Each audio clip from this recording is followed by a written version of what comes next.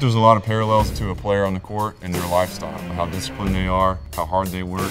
When an athlete learns to trust you as a coach, they start to see results. They're empowered to want to do better for you, but also want to do better for themselves.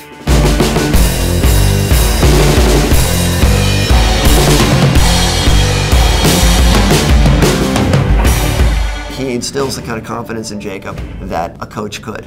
Stephen by far wasn't the, the elite athlete. He was just a, an athlete that wanted to work at it and wanted to do whatever he could to become better. It's kind of not so much about coach, athlete, it's more of like a friend to friend. He really knows the game and he's very clear about what I need to do to become better.